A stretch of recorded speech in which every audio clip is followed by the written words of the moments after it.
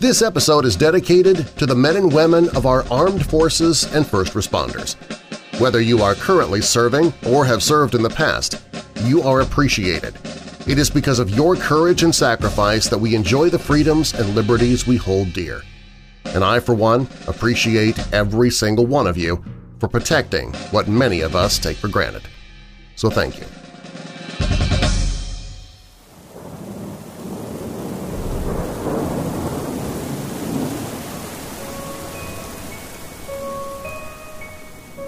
Most of us think of ghosts as frightening entities, but I'm really not sure why. I mean, the majority of ghostly entities and spirits are like will-o-wisps. They may drift out of the cobwebs of your attic or damp cellar corner, but for the most part they don't really do anything dramatic or harmful, except perhaps throw a chair in the air or shake a bed until it rocks, or step heavily on the floorboards in your house alerting you to their presence. Now I have seen doors open and close by themselves. Lights go on and off and dishes drop to the floor without breaking. But after watching hours upon hours of your favorite ghost hunters TV shows, I really can't get as excited as I was at maybe the age of four when I saw a full-body apparition in my room surrounded by a brilliant aura. TV and movies portray ghosts and the esoteric in general in a more aggressive light. You have Ghostbusters with its slime, and The Exorcist's star Linda Blair spitting pea soup and telling her mother what she can do while in hell. Nothing like a good nail-biting horror story like Pet Sematary to prompt us to hide under the covers and leave on the nightlight next to the bed. And who can't pass up a great episode of Supernatural? It doesn't matter in these instances if we are 5 or 50. A good scare is a good scare. But what about fearsome ghosts away from the fictionalized world of horror movies and television?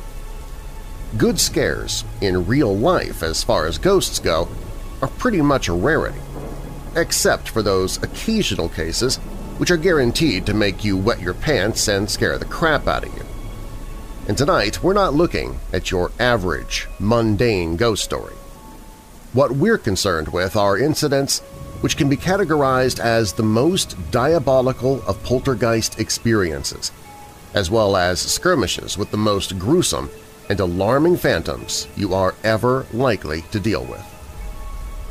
I'm Darren Marlar, and this is Weird Darkness.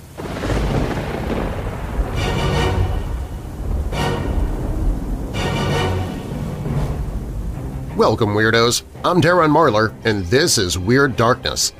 Here you'll find stories of the paranormal, supernatural, legends, lore, the strange and bizarre, crime, conspiracy, mysterious, macabre, unsolved, and unexplained. If you're new here, welcome to the show, and if you're already a member of this weirdo family, please take a moment and invite someone else to listen in with you. Recommending Weird Darkness to others helps make it possible for me to keep doing the show. And while you're listening, be sure to follow Weird Darkness on Facebook and Twitter and visit WeirdDarkness.com where you can find the daily Weird Darkness podcast, watch streaming B-horror movies and horror hosts 24-7 for free, listen to free audiobooks that I've narrated, send me your own true story of something paranormal that's happened to you or someone you know, and more. You can find it all at WeirdDarkness.com. Coming up this hour, murderous phantoms and homicidal ghosts are only found in television and movies, right? It's rare, but they do decide to make their presence known in the real world on occasion. A dead chicken was found beside the granary next to a large print on the ground of an animal that no one could identify. That was almost a year before sightings of a strange creature began on the Restaino family's property. And a paranormal investigator stumbles upon an abandoned property that he's never seen before and even this seasoned ghost hunter was scared out of his wits by what happened there. Also in the sudden death overtime content, heaven and hell, are these just ideas in a book or are they real places? And is it true, as some believe, that hell is below us in the center of the earth? All of this in the next hour and in the sudden death overtime content of Weird Darkness. So bolt your doors, lock your windows, turn off your lights, and come with me into the Weird Darkness.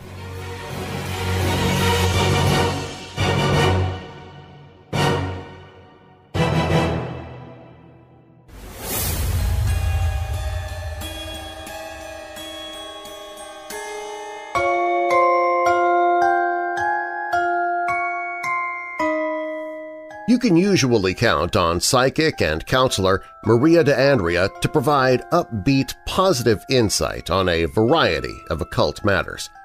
But even Maria has had her life touched by an evil, ghostly presence or two, as the following story from her contribution to knife-wielding demons and murderous ghosts demonstrates. What starts as an etheric sword fight between ghostly combatants crosses over into physical reality with terrifying results. This is how Maria tells the story. One cold and dreary night, I was doing some spiritual blessings at a cemetery at the request of a client to help his recently passed away relative through the transition from one reality to the next. As I walked through the grounds looking for the gravestone, I thought I heard a strange sound.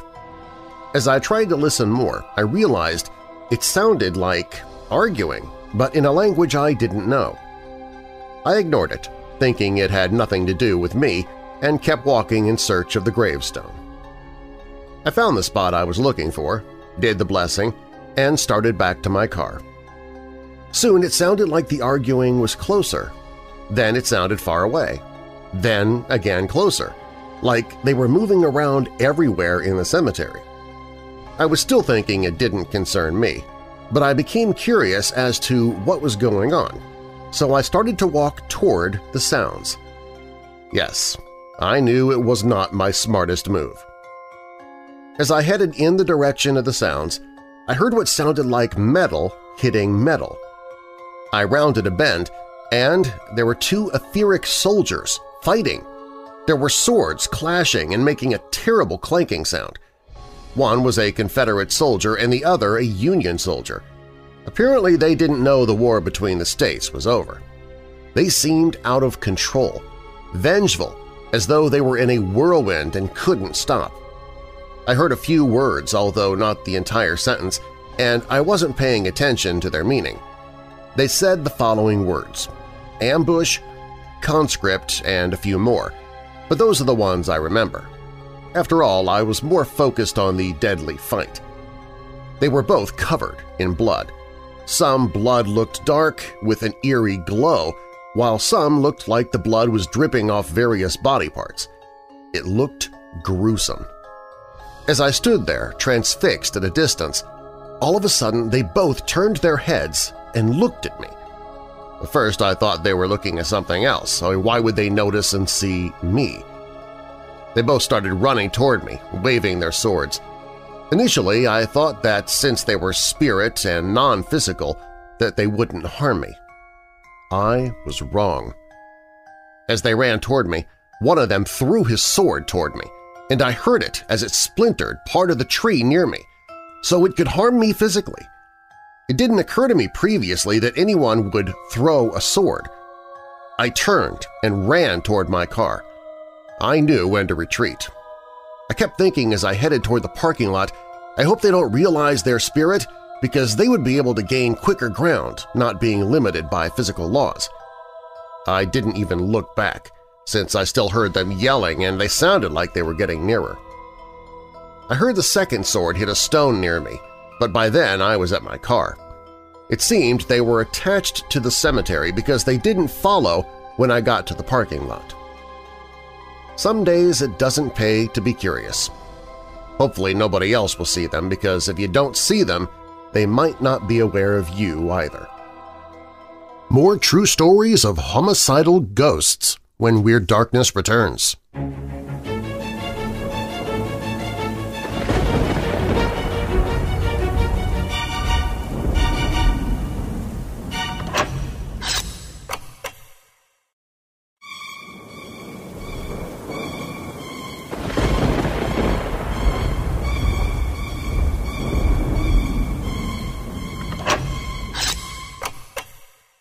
Welcome back to Weird Darkness. I'm Darren Marlar, And if you like Weird Darkness and you like even more of this kind of content, you can check out the free audiobooks that I've narrated at WeirdDarkness.com.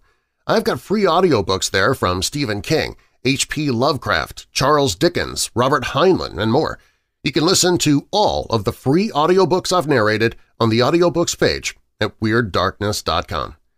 We now continue with more true stories of murderous ghosts on Weird Darkness. Another contributor comes from researcher and author Adele Casales Rosa, whose book Portal, A Lifetime of Paranormal Experiences details numerous encounters with the unknown, her own as well as those of others.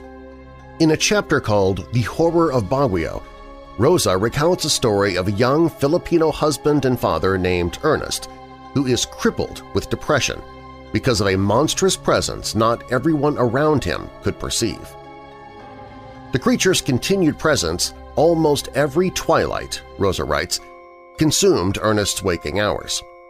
His apprehensions of being taken by the creature, body and soul, started to show in his poetry. His poems, which were an outlet for his internal turmoil, turned even darker, drearier, and more foreboding. His siblings, who read his opus, became concerned and from concern became alarmed when he wrote one poem which began as The bird that flies is false. Themes of death became prominent. The creature tormenting the young poet was described like this. Embracing the window with a wingspan of more than six feet from tip to tip was a bat taller than a man. Its leathery wings ended in a talon-like grasp at the edges of the window. Its yellow eyes were like a cow's. The semblance of horns protruded from its black head, and it had a goatee at the end of its pointed chin. The face of a goat with the eyes of a cow and a leathery body framed by the wings of a bat. It is an eerie thing to contemplate, that such a creature would repeatedly appear and yet never leave any physical traces behind such as animal tracks or bat droppings. In spite of its physical nature, its effect on the young percipient was decidedly psychological and emotional, as was its impact on his family. To learn the story's tragic end, you can read Knife-Wielding Demons and Murderous Ghosts, and prepare yourself for a tale as sorrowful as it is strange.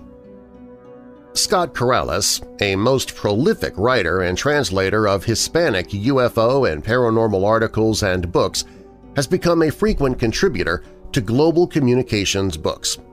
For this particular volume, Scott provides a survey of cult-related murders and satanic secret societies. The following is an excerpt from his chapter in Knife-Wielding Demons and Murderous Ghosts.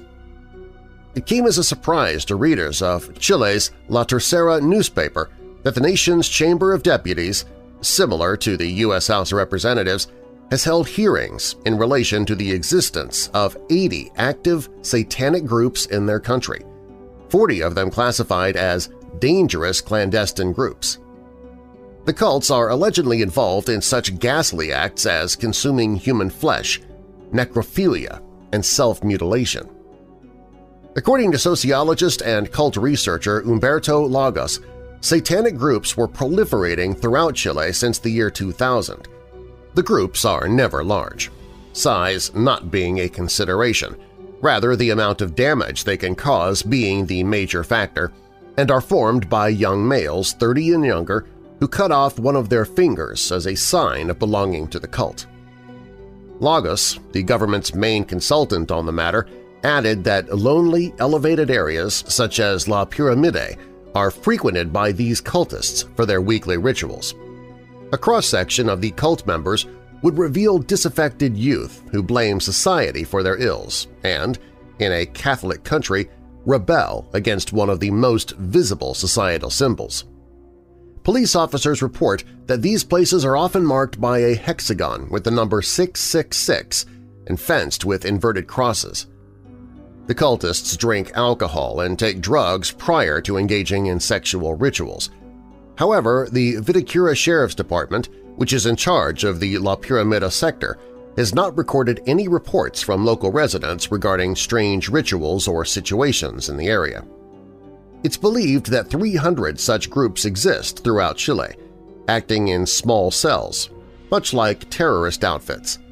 Many of them are not satanic but rather practitioners of Santeria or other Afro-Caribbean religions, which have gained considerable followings in South America. The Chamber of Deputies Committee on Cults was impaneled as a result of charges of white slavery leveled against the Center for Tibetan Studies in the city of Viña del Mar. The new anti-cult legislation would follow the European model, which makes manipulation of conscience and any form of mental manipulation or obfuscation a crime. None of this, according to the information in La Tercera, compares with the most violent case recorded, the 1994 incident involving a satanic neo-Nazi cult engaging in child abductions in order to torture them and subject them to all manner of sexual outrages. The cult celebrated its rituals at night in the vicinity of the sports club of the town of Sausalito. The Chilean newspaper does not go on to state if there was any link between the cultists and the members of the upper-class athletic club. While such a connection may at first seem startling, it has been seen elsewhere, as in the case involving a group of Mexican Satanists who carried out their rituals in Chapultepec Park, not far from the elite Restaurante del Lago eatery.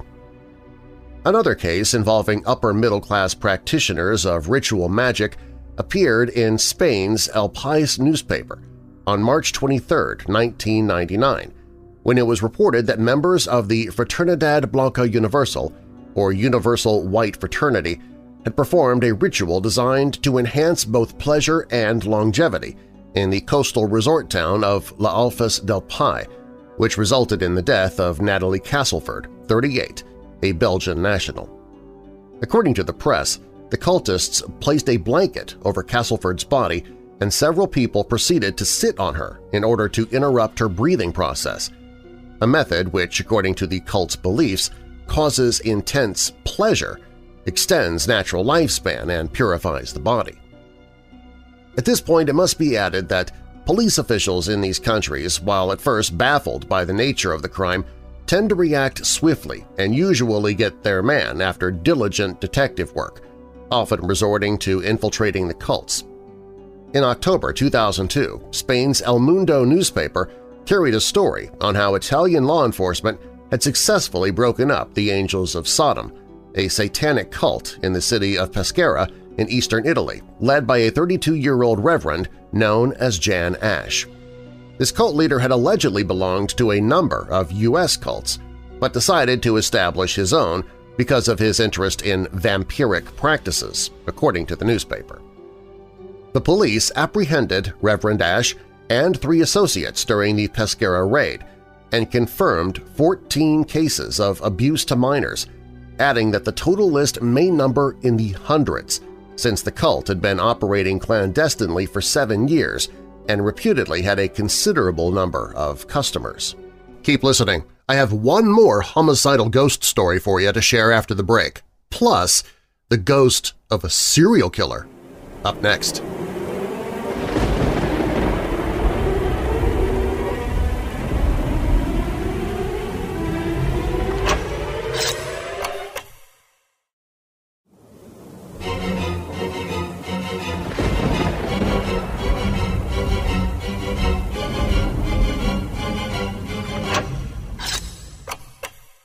I'm Darren Marlar. Welcome back to Weird Darkness.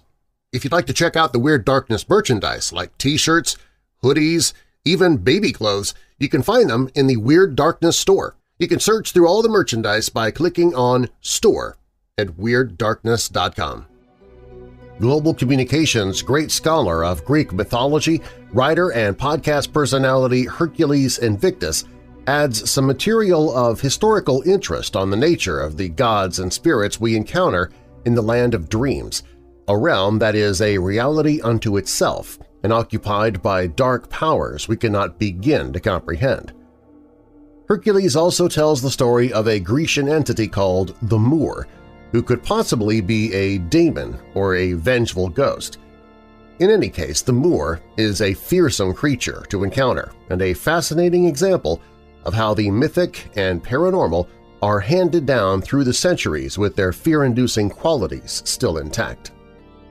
So-called poltergeists come in all shapes and sizes and inspire varying degrees of horror. What might be surprising is that poltergeists are not necessarily the spirits of the dead nor the overworked, disordered personalities of the living often thought to have become possessed by demonic forces. That which we call a poltergeist could just as easily include a wide range of other unearthly phenomena, such as random denizens of the dark moving through time and space and other dimensions, as well as manifestations of cryptids, known collectively as shapeshifters and bedroom invaders, and possibly even representatives of numerous alien races. No one has ever completely explained why we enjoy being terrified. What is that perverse thrill we seek and never get enough of? Why does the case of the chills make us feel satisfied and well-served by scary forms of entertainment, whether entirely fictional or factual stories, said to have literally taken place in our real and physical world.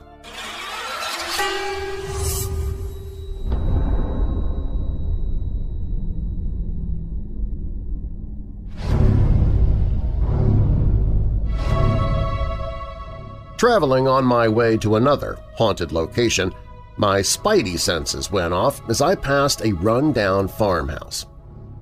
When I reversed and stopped in front of the property, I could almost hear screams and growls in my head. Strangely enough, there were no signs blocking the entrance to the property, so I grabbed my equipment and went in. I found it odd that the majority of the trees and plants surrounding the old house were either dead or dying. The house itself also looked like it was decaying from the inside out, along with the surrounding buildings and sheds. As I crept up to the front porch, I saw that it was crumbling around the concrete steps that led up to the front door. Stepping slowly and lightly, I noticed the cracks in the concrete and then the old boards nailed across the door. I switched one of my EVP recorders on. Then I pulled on the boards, finding them flimsy and easy to rip down. The door opened on its own, creepy enough, but I had to remember that the dangers were more than structural.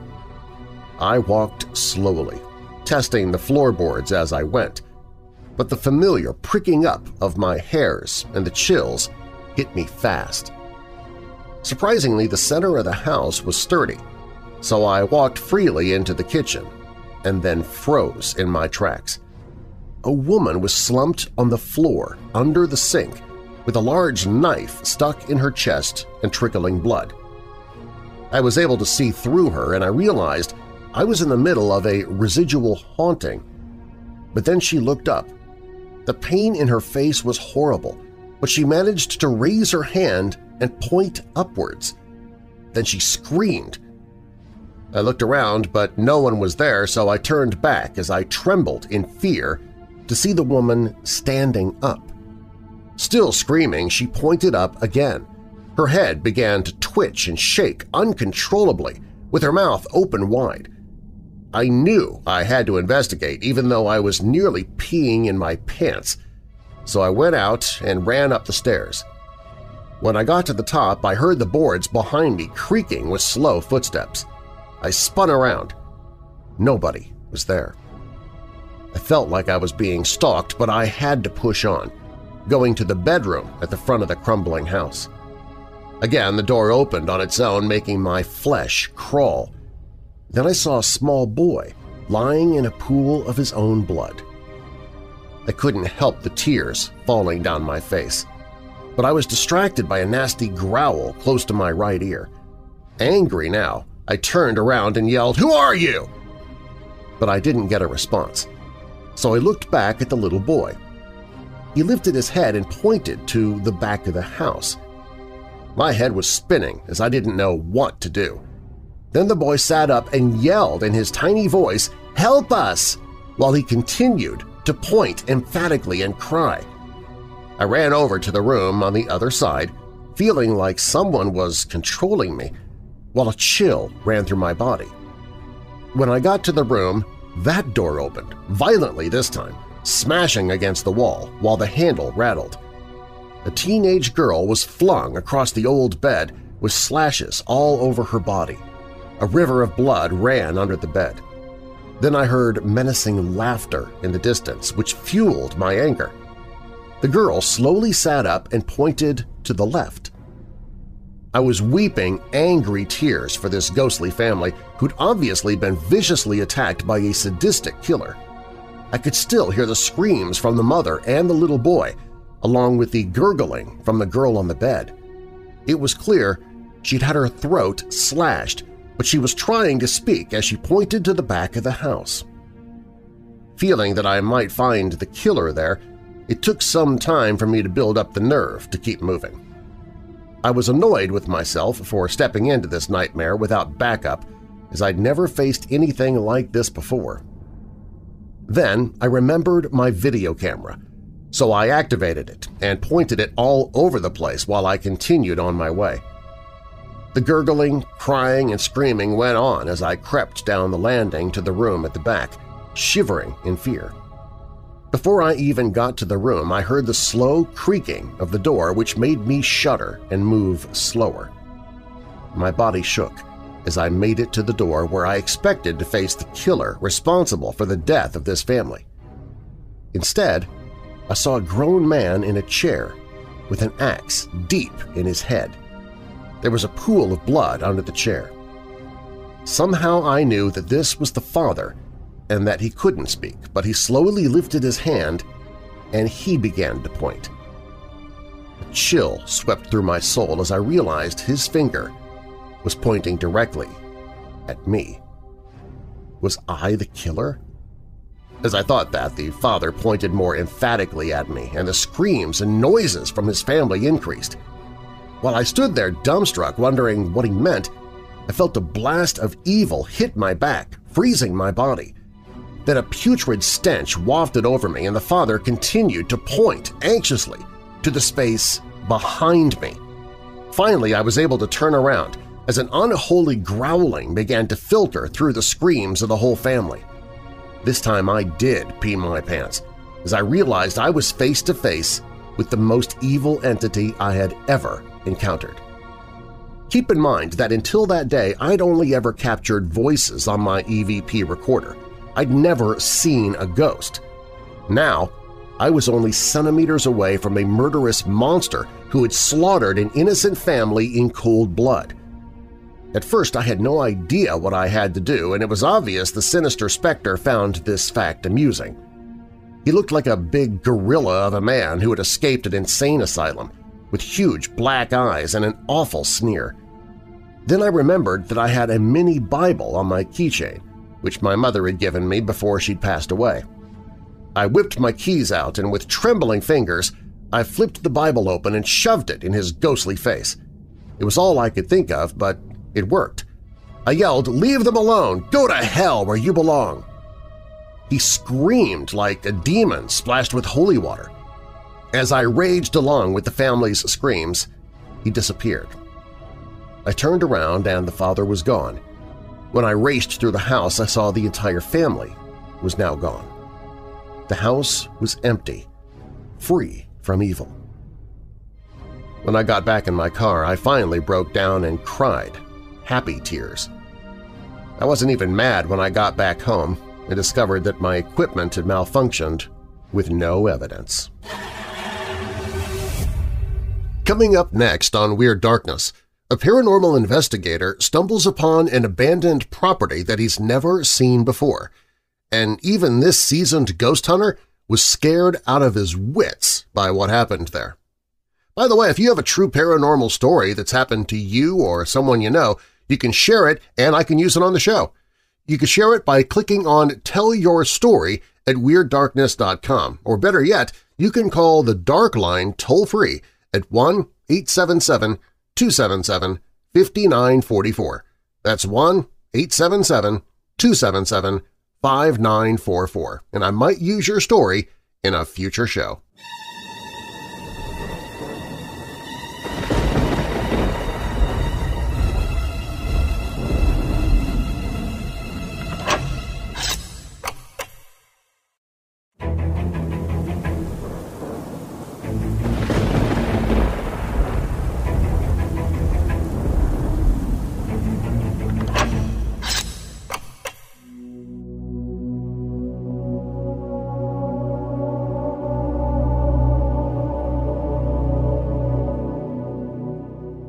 Following is written in first person from the point of view of the article's author. Once we had reached the site, 260 kilometers distant along Route 14, we entered Colonia Elia through a dirt road in search of the witnesses.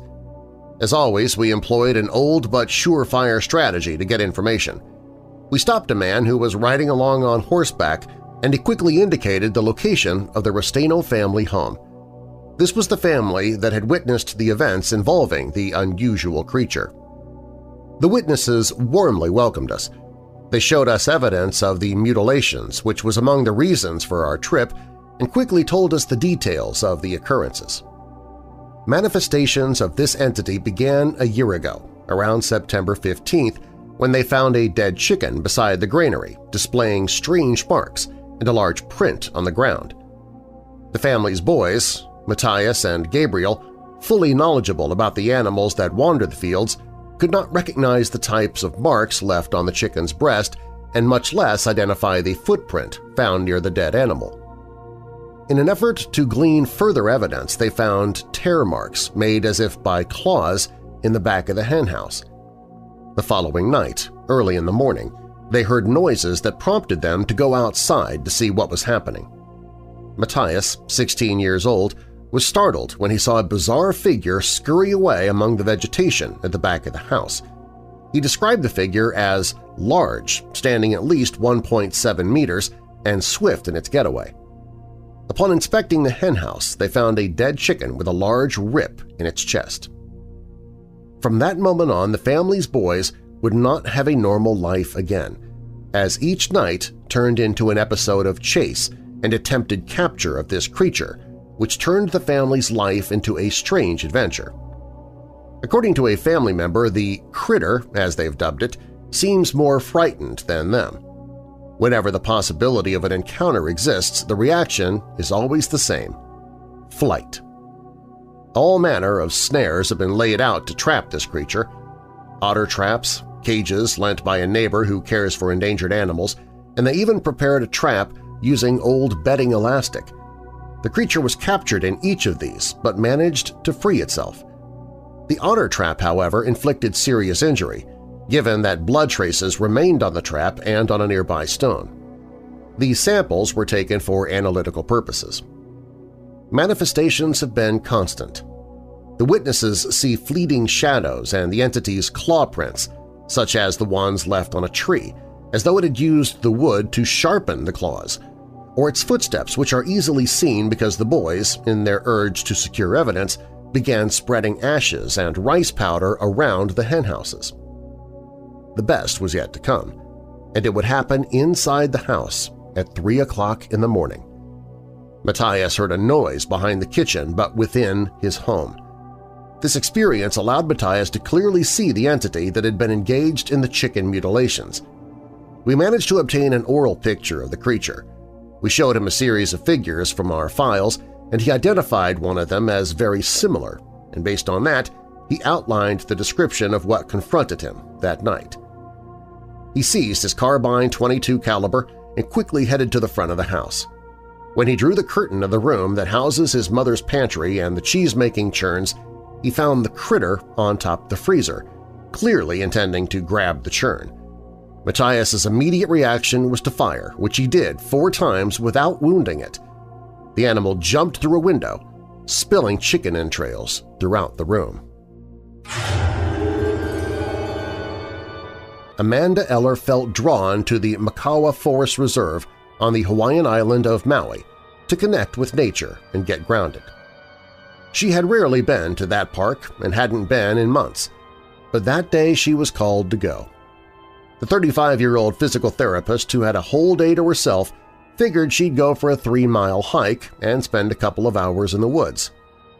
I don't really know what happened, she said Tuesday morning, speaking to reporters while in a wheelchair.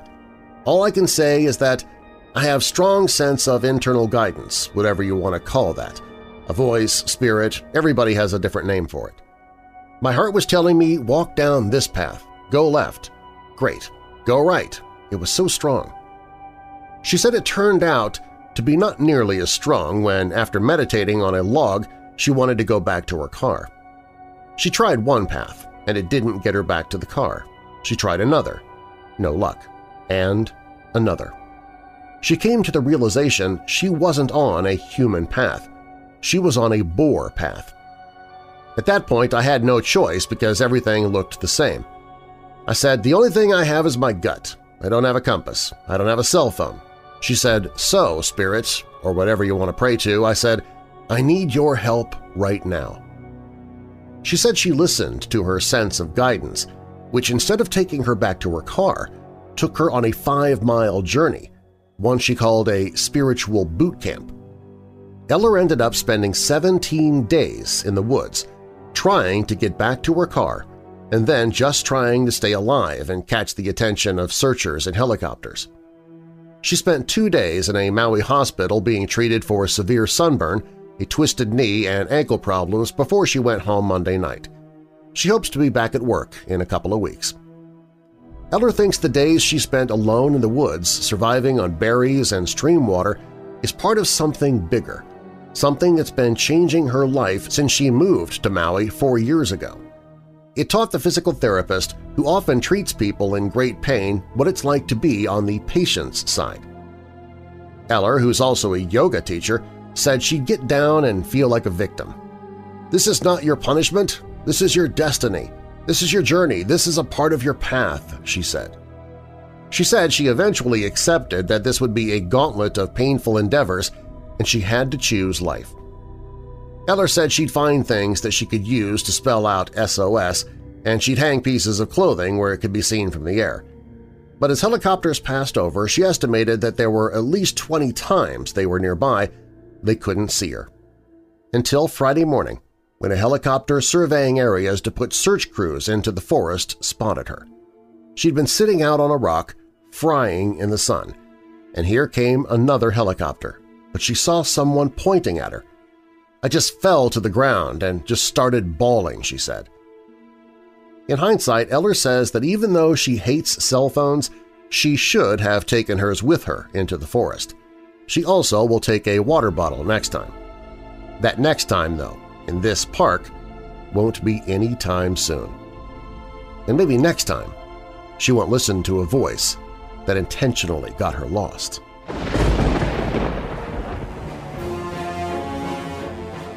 Thanks for listening. If you missed any part of tonight's show, or if you'd like to hear it again, you can subscribe to the podcast where you'll hear not only tonight's radio show, but also the extra sudden death overtime content that I prepared that I didn't have time to fit in. And while the radio show is one night per week, I upload episodes for the podcast seven nights per week. And if you're one of my patrons, you get a commercial-free copy of tonight's show immediately after it's over, including the overtime content. You can become a patron and or subscribe to the podcast at WeirdDarkness.com, or you can search for Weird Darkness wherever you listen to podcasts. You can follow the show on Facebook and Twitter at Weird Darkness, and please tell others about the show who love the paranormal or strange stories, true crime, monsters, or unsolved mysteries like you do. Doing that helps make it possible for me to keep doing the show. And if you'd like to be a part of the show, you can call in to the Dark Line toll-free and tell your own true paranormal story or a story that happened to someone you know. That number is 1-877-277-5944. Again, the toll-free number is 1-877-277-5944. You can also email me anytime on the contact page at WeirdDarkness.com. Weird Darkness is a production and trademark of Marlar House Productions. Copyright Weird Darkness. I'm Darren Marlar. Thanks for joining me in the Weird Darkness.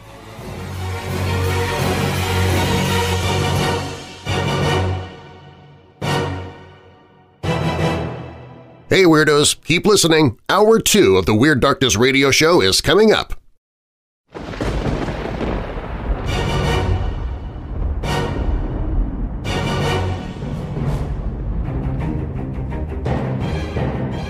Welcome, Weirdos! I'm Darren Marlar, and this is Weird Darkness. Here you'll find stories of the paranormal, supernatural, legends, lore, the strange and bizarre, crime, conspiracy, mysterious, macabre, unsolved, and unexplained. Coming up this hour of the radio show, we'll visit a small farm near the town of Chittenden, Vermont, where a strange mystery took place involving the Eddy brothers. Sarah Coton lured her boss to an abandoned house and shot him dead, and her excuse was, quote, it was my duty to kill him. We'll look into the disappearance of three Missouri teenagers in 1992. The vanishing of the Springfield Three remains unsolved to this day. We'll hear from a Weird Darkness listener who called the Dark Line to tell us about some strange things taking place around his home with a ghostly girl, a phantom dog, and some poltergeist activity. And if we have time, we'll cover the death of Eugene Red McLaughlin, a Chicago mobster who took his last swim during what local papers dubbed Slaughter Week. If we do run out of time this hour, we'll put the story into today's Sudden Death Overtime, which podcast subscribers can hear immediately after tonight's show. And also in today's Overtime, I'm going to share the story of Jack Legs Diamond, known as the clay pigeon of the underworld because he was shot so many times and kept coming back for more. If you're new here, welcome to the show. And if you're already a member of this weirdo family, please take a moment and invite someone else to listen. Recommending Weird Darkness to others helps make it possible for me to keep doing the show. And while you're listening, be sure to follow Weird Darkness on Facebook and Twitter, and visit WeirdDarkness.com to find the daily Weird Darkness podcast, watch streaming B-horror movies and horror hosts 24-7 for free, listen to free audiobooks that I've narrated, send me your own true story of something paranormal that's happened to you or someone you know, and more. You can find it all at WeirdDarkness.com. Now, bulge your doors, lock your windows, turn off your lights, and come with me into the Weird Darkness.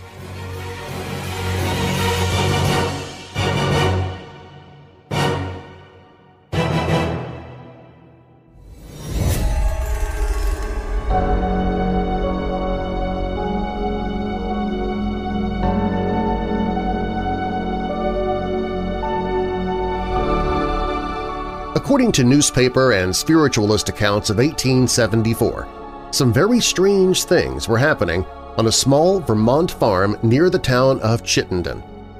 Allegedly, all manner of bizarre phenomena was said to be taking place in the home of William and Horatio Eddy, two middle-aged, illiterate brothers and their sister, Mary. The Eddys lived in an unkempt two-story building that was reported to be infested with troops of supernatural beings in such numbers that had never been reported before or since. The events at the farm were said to be so powerful and so strange that people came from all over the world to witness them. Spiritualists began calling Chittenden the spirit capital of the universe. Needless to say, not everyone was convinced of the legitimacy of the reported events on the Eddy farm. One such man was a successful attorney named Henry Steel Olcott. Prior to hearing of the Eddy brothers, Olcott had no interest whatsoever in the burgeoning spiritualist movement. However, one day as he returned to his office from lunch, he picked up a copy of the spiritualist newspaper, Banner of Light. In the paper, he read a graphic account of the strange happenings that were being reported in Chittenden, Vermont.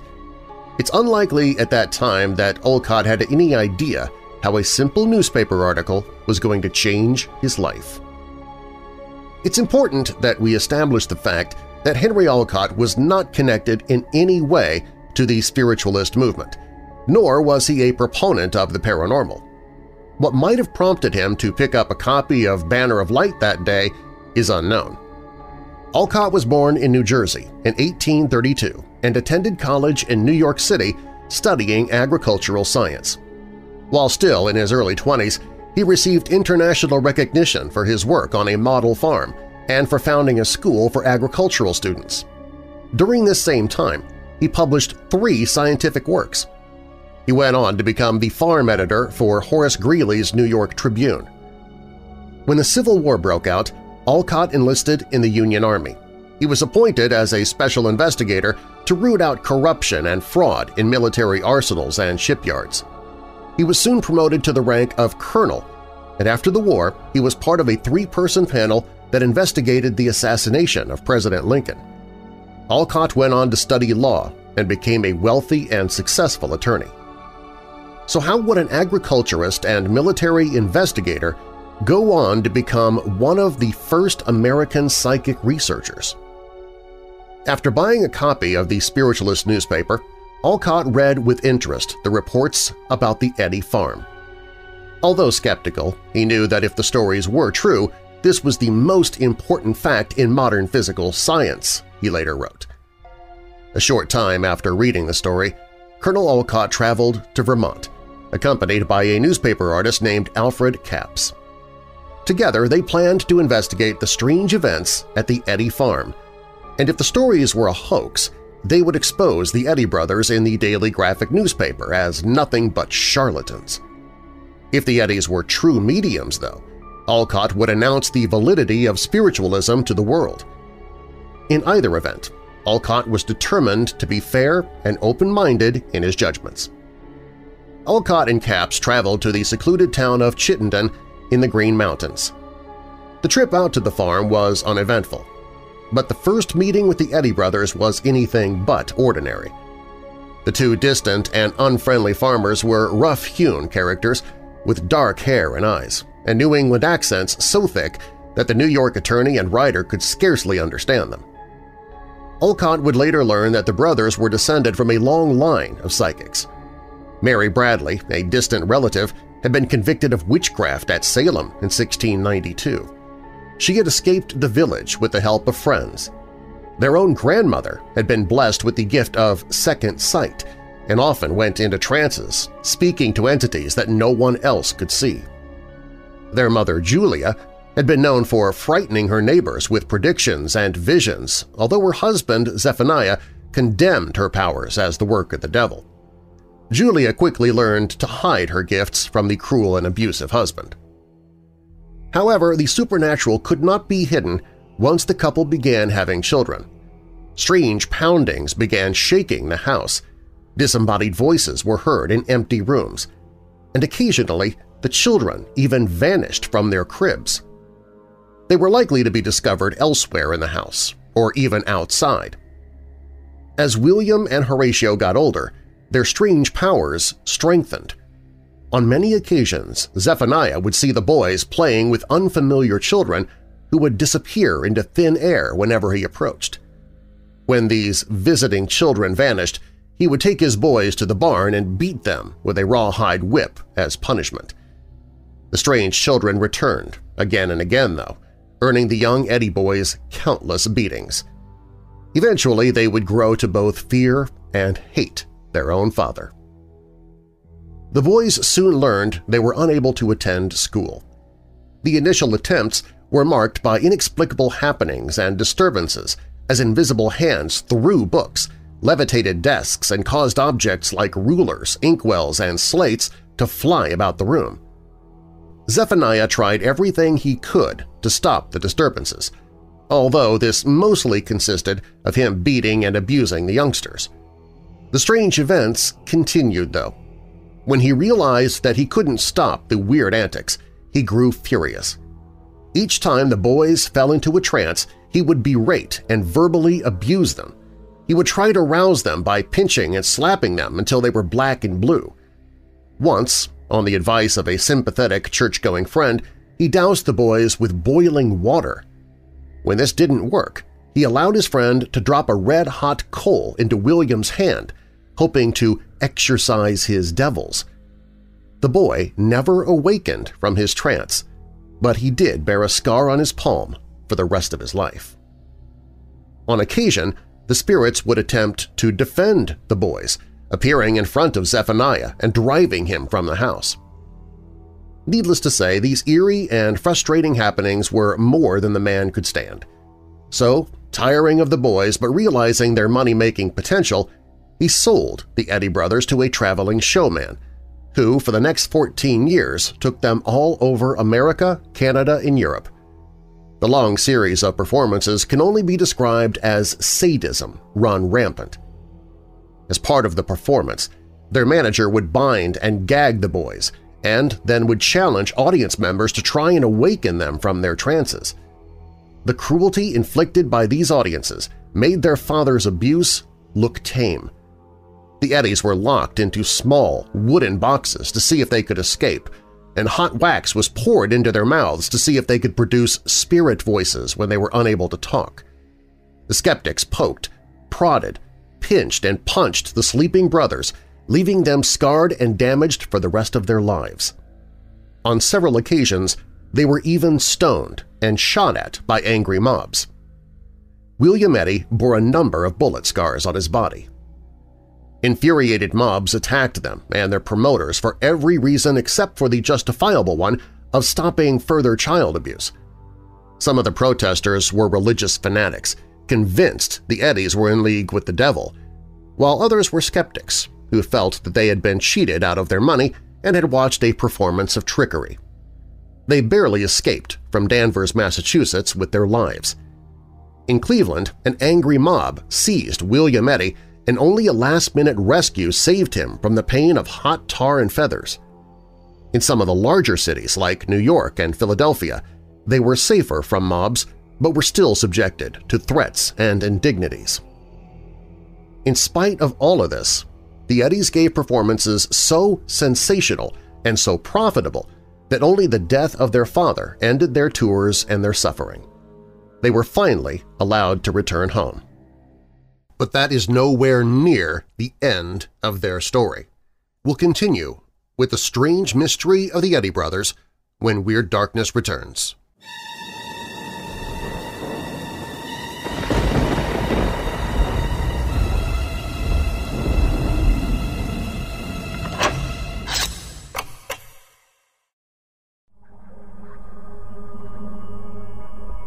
In 2025, neutron bombs wipe out much of the world's drinkable water. For the next several years, survivors exist in deplorable conditions and their rations are dwindling. One woman arises from the camp, determined to improve conditions. Charlotte is ready to do whatever it takes to ensure clean water for her fellow survivors. Water is almighty. Whoever controls the water rules the world. Can Charlotte prevent the power from falling into the wrong hands? Weird Darkness Publishing presents Working for H2O by Sarah Faith, now available in paperback, Kindle, and audiobook versions on Amazon and at WeirdDarkness.com.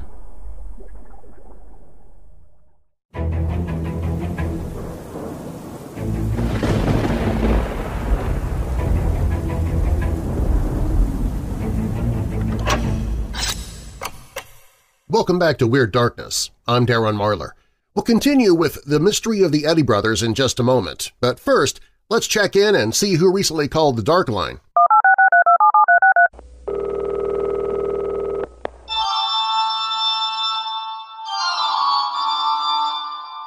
Hey, Darren. Uh, my name's Steve. I'm from Alabama.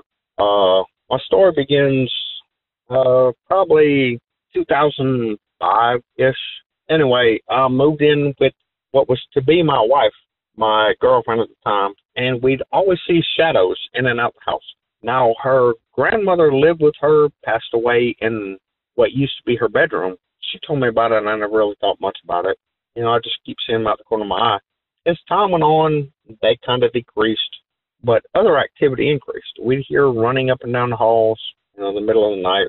One night, our bedroom door opened up and closed, you know, my wife and I are laying in bed, and I said, well, uh, is this one of the girls? So I get up and I go check on them. They're both sound asleep. So I go back to bed and tell my wife, no, don't think nothing of it. And we keep hearing footsteps. One night I go outside. I left some tools outside. That's about 10 o'clock, uh, clear night. I go out to get them, and I hear someone say, Daddy. My daughter, Peyton, that sound like her. You know, seven, eight years old. I said, Peyton, what are you doing outside? Never got an answer. I looked back there, never saw nothing. I came inside. Both my daughters inside playing video games. So I went to my wife and asked her, Hey, did you happen to say anything? Well, she's in the bedroom who's adjacent to where I left my tools. She said no. So I couldn't figure it out. Oh, maybe I'm hearing things. Maybe it's sound outside. So I go to bed, everything. And one night, my wife sees an apparition, I guess you say, of a girl, curly hair or light blue dress, roughly late 1800s, early 1900s. I didn't see her. Later on, I ended up seeing her, and I know how stupid it sounds. We used a Ouija board. And my kids weren't there. We used to be in Wiccan. We're now Christian. Uh, but we we practiced everything we need to: grounding, centering. You know, we were protected. it turned out it was a girl who was lost looking for her family who used to live here. And it wasn't but a few days later I was over in the woods and I found some dog tags related to her family. I had a young daughter. She's still taking a, a bottle of everything. And I went to go get her a bottle and I felt like a rush of wind rushed past me. And I didn't think a whole lot about it. You know, maybe it's cool outside. You know, it's fall. Well, I get to the kitchen and I see what looks like a little child leaning over in the mantle. Well, I get the bottle and I go back in the bedroom and I tell my wife about it, and she thought she saw a shadow rush past me. Later on that night, we're laying in bed, we're talking, and I'm laying on the side of the bed close to the door. I look out the door and I see what looks like an Australian Shepherd with almost a star imprint on over one eye. I look back at my wife and I do a double take. You know, the dog's still there, and I look one more time. The dog's gone. Why didn't say anything? Because you know, maybe I'm seeing things. Maybe I'm tired. Anyway, she goes to the bathroom and she feels like something's in there growling. And she tells me about it, and I said, "Well, you know, the only response I had was, well, I saw it, but you know, I didn't know what I was seeing, and there's no point in both of us getting bit by a ghost dog, you know, just laughing it off. She didn't find it funny, but you know, time went on, things just kept happening. I, I had a necklace I'd wear every day, and I tossed it up on the CD player, and I literally watched it come off the CD player into this champagne glass I used to keep and I always put the necklace in there. And I know it sounds like garbage. If I wasn't there, I wouldn't believe it either. But I know what I saw because I was there when I saw it. Thanks for the story, Steve. Sounds like you might have a poltergeist. You know, what, you know, what with the moving objects, strange sounds and voices. But the more I think about it, poltergeists, they don't normally manifest into something that you would see you know, like a specter. So you might have a second or even a third entity with that ghostly girl and the phantom dog. I would most definitely get an expert to come in and see what's going on around you. Thanks for listening, Steve. And hey, you know what? If more stuff happens, feel free to call in with some updates. If you have a true paranormal or creepy story to share of your own, you can do what Steve did and call the Dark Line toll-free at 1-877-277-5944. That's 1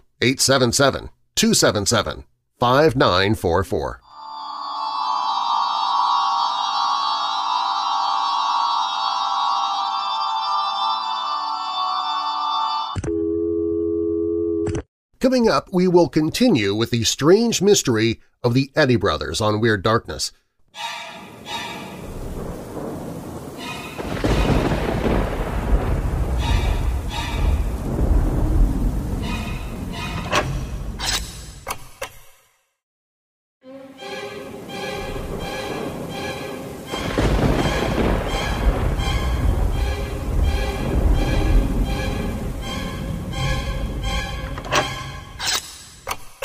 I'm Darren Marlar. Welcome back to Weird Darkness. We continue now with the mystery of the Eddy brothers. When we last left the story, they had just finished being performance monkeys, for lack of better words, being abused by crowds and their own father. We'll see what happens next as we continue. They moved on to their family farm with their sister Mary and opened the house as a modest inn called the Green Tavern. Unfortunately, by then the brothers were warped men, hostile and suspicious, trusting no one but each other. Colonel Olcott later described them as two men who could easily make newcomers feel ill at ease and unwelcome. As unsociable as they were, the Eddys rarely had a vacancy in their inn. They took in spiritualist boarders who flocked from all over America and Europe to take part in the seances that were held on every night but Sunday. The Eddys charged $10 per week for a room and board at the inn, which was high for the time, but not exorbitant. Overflow visitors found other lodging in Chittenden and neighboring homes, for though the Eddy house was large, it was unable to serve the huge number of visitors who gathered for the nightly seances. Colonel Olcott obtained a second-floor room and, like all of the visitors, was given the run of the house. Apparently, all but the most gullible guests used this freedom to search the premises, hoping or fearing to find theatrical props and assorted items that might aid in hoaxing those who came to see the seances. Where did the Eddys hide the mirrors, wires, and sheets? Where were the costumes they used in the hoax? Olcott prowled the house from cellar to attic, but was unsuccessful in finding anything to show the events were a fraud. On Olcott's first day at the farm, he was witness to an outdoor seance. In the bright moonlight of a warm summer evening, a group of ten participants traveled down a path and into a deep ravine. They assembled in front of a natural cave, formed by two large stones that had collapsed atop one another, forming a large arch. Olcott later learned that it was called Honto's Cave, in honor of the Native American spirit who often appeared there. Olcott suspiciously investigated the cave, but no exit could be found at the back of the rocks. He determined there was no way that anyone could slip in or out of the cave without being seen. Horatio Eddy acted as the medium for the seance. He sat on a camp stool under the arch and then was draped in a makeshift spirit cabinet formed by shawls and branches that had been cut from small saplings. As Horatio rested there, a gigantic man dressed as a Native American emerged from the darkness of the cave. While the medium addressed this spirit, someone cried out and pointed up toward the top of the cave. Standing there, silhouetted against the moon, was another gigantic Indian. To the right, a spectral female had materialized on a ledge. In all, ten such figures appeared during the seance. The last, the spirit of William White, the late editor of a spiritualist newspaper, emerged from within Horatio's cabinet. He was dressed in a black suit and white shirt and was supposedly recognizable to some who had read the newspaper and recognized him from his picture. He vanished at the same time the others did. Moments later, Horatio appeared from the cabinet and signaled that the seance was at an end. After the bizarre display was over, Olcott and Capps carefully searched the cave and the surrounding area for footprints in the soft earth. They found no trace that anyone had been there. Olcott found the seance to be convincing, but was sure that he'd be able to more easily detect fraud within the controlled setting of the Eddy house. He and Capps thoroughly examined the large circle room which was located on the second floor of the farmhouse. He drew maps, charts, and diagrams and took numerous measurements, sure that he would find false panels, secret doors, or hidden passages. However, he found nothing out of the ordinary. He was determined not to give up, though, and he convinced the newspaper to hire men to come to Chittenden and examine the place. Using carpenters and engineers as consultants, another thorough search was conducted. The experts also found nothing out of the ordinary. After this, Olcott and Capps were finally convinced that the walls and floors were as solid as they seemed. Because of this, what Olcott witnessed during the nights that followed became even stranger. Each seance was basically the same. Six nights a week, visitors would assemble on rough wooden benches in the seance room. A platform was lit only by a kerosene lamp, recessed in a barrel. William Eddy, who acted as the primary medium, mounted the platform and entered a small cabinet. A few moments later, soft voices began to whisper in the distance. Often there would be singing, accompanied by spectral music. Musical instruments came to life and soared above the heads of the audience members. Disembodied hands appeared, waving and touching the spectators, and odd lights and unexplained noises appeared and filled the air. Then the first spirit form emerged from the cabinet. They came one at a time, or in groups, numbering as many as 20 or 30 in an evening. Some were completely visible and seemed solid. Others were transparent and ethereal. Regardless, they awed the frightened spectators. The spirits ranged in size from over six feet to small. It's worth noting here that William Eddy was only five feet nine inches tall. Most of the ghostly apparitions were elderly Yankees or Native Americans, but many other races and nationalities also appeared in costume, like Africans, Russians, Asians, and more. Where had they come from, Olcott wondered. He'd examined the spirit cabinet and platform and had found no trapdoors, nor hidden passages. In fact, there was no room in the cabinet for anyone other than the medium himself. Olcott had studied the workings of stage magicians and fraudulent mediums, but could find none of their tricks present at the Eddy House. The apparitions not only appeared, but they also performed, sang, and chatted with the sitters. They produced spirit articles like musical instruments, clothing, and scarves. In all, nearly every type of supernatural phenomena was reported at the Eddy farmhouse. These included rappings, moving physical objects, spirit paintings, automatic writing, prophecy, speaking in tongues, healings, unseen voices, levitation, remote visions, teleportation, and more. And of course, the full-bodied manifestations of which Olcott observed more than 400 during the weeks he visited the house. He concluded that a show like that, which he had seen, would have required an entire company of actors and several trunks of costumes. Yet, Olcott's inspection of the premises revealed no place to hide either actors or props. The idea of stage actors was further dispelled by the convincing manner of the spirits. One woman spoke in Russian to the alleged spirit of her deceased husband. A number of other dialects were also heard. How was this possible when the Eddies could barely read and write and were scarcely capable of speaking coherent English? In addition, such an elaborate show would have cost a fortune to produce each night. They would have had to pay the actors, invest in costumes, and hire someone to create the marvels of the spirits. This would have been impossible given that the brothers were almost penniless. Most of the visitors who came to the farm did not pay, and the rooms only gained them $10 per week for room and board.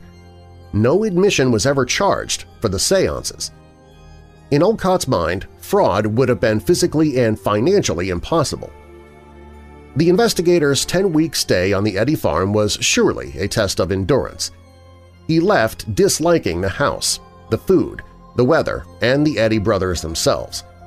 However, he was convinced of the fact that the two men could make contact with the dead. The farm attracted many international visitors, but none of them was as flamboyant as Helena Petrovna Blavatsky, who arrived during the time of Colonel Olcott's investigation. Madame Blavatsky had not reached the height of her fame at this point, but she already commanded great respect in occult circles. She was a theatrical woman with a powerful personality and a flair for the dramatic, and she made an impression at the rural farm by smoking cigars and appearing in a variety of veils and flowing dresses. Many of the visitors in 1874 were already aware of Madame Blavatsky. She had been born in Russia in 1831 to German parents with excellent social credentials. She married young but later abandoned her husband to explore both the physical and spiritual worlds. She visited an odd assortment of places, such as Canada, Mexico, Texas, and India, and made a first attempt to enter the forbidden country of Tibet. A short time later, she vanished. For a decade between 1848 and 1858, Madame Blavatsky was not heard from, and she would often refer to this time as her veiled years. Her cloudy allusions to this time period were always vague and always intriguing. She may not have spent seven years at a mountain retreat in Tibet, but she truly did learn much of the Indian mysticism and acquired more than a dabbler's knowledge of the Jewish Kabbalah. From this learning, she would later piece together the novel religion of Theosophy, a curious mixture of many faiths and philosophies. Madame Blavatsky returned home to Russia in 1858 and began offering performances of spiritualism, mixed with overtones of the mystical East. She came to America and soon established herself as one of the best-known practicing mediums and occult teachers in the country. This is the reason why she made such a dramatic appearance when she came to Chittenden in 1874. She not only attended seances at the farm, but also volunteered to play appropriate music on the pedal organ that the brothers had recently acquired for the seance room. The Eddies were quick to latch on to her services. Everyone expected something marvelous to happen – and they were not disappointed. The group gathered that night in the seance room as Madame Blavatsky played the organ. William sat entranced in his cabinet as suddenly the curtains swept aside and a curious figure walked out. He was a tall, swarthy man who was costumed in velvet, decorated with gold braid, bedecked with tassels and wearing high leather boots. The man bowed, made gracious gestures of welcome and then walked toward the observers with his hand pressed to his heart in greeting. Then, apparently from nowhere, a lance appeared in his empty hand. It was nearly 10 feet long and decorated with what were said to be ostrich plumes. The man stomped across the platform, returned to its center, gave a military salute, and then began to melt in some sort of mist. The mist, or smoke, apparently emanated from the man's body, and he gradually blended into the cloud and then disappeared. The crowd roared with both bewilderment and approval, but Madame Blavatsky regarded it all with equanimity. She was, after all, accustomed to oddities and was somewhat of a puzzle herself. Madame Blavatsky did not remain in Chittenden for long. In three years, she was to publish her acclaimed Isis Unveiled, the classic textbook of theosophy that would attract more than 100,000 followers around the world. Always drawn to India, she went to Madras in 1879 where she established the world headquarters of the Theosophical Society. She performed so many alleged miracles in India that an investigation was warranted by the Society for Psychical Research in 1884. The miracles collapsed under scrutiny, but her disciples rationalized that a few outward, even though questionable wonders, are necessary to draw the masses to the true inner faith. We'll wrap up our story about the Eddy brothers when Weird Darkness returns.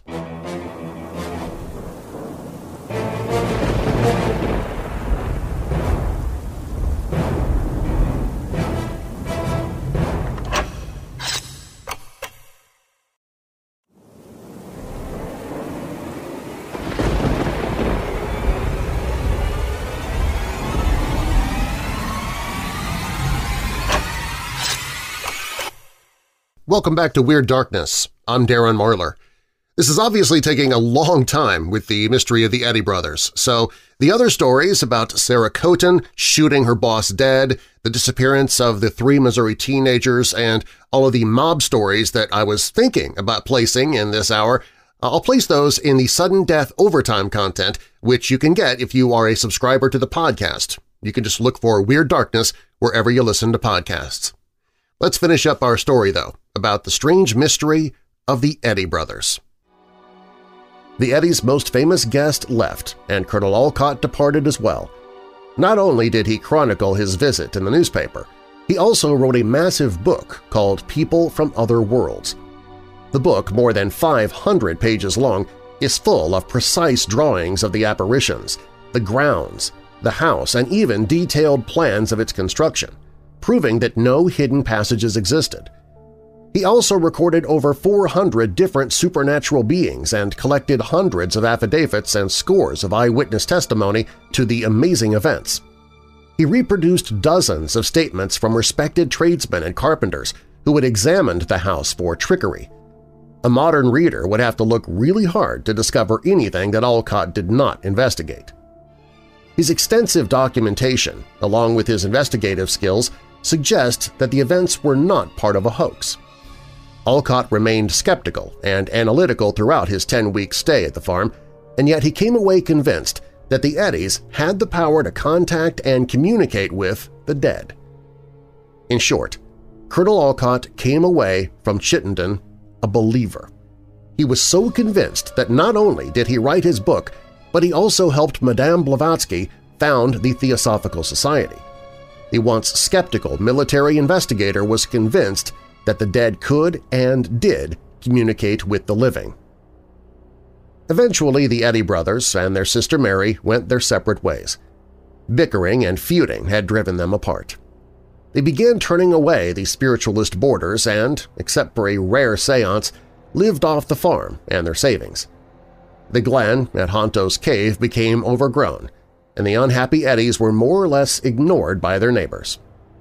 Horatio moved out and took a house across the road, where he took up light gardening, occasional seances, and doing magic tricks for local children.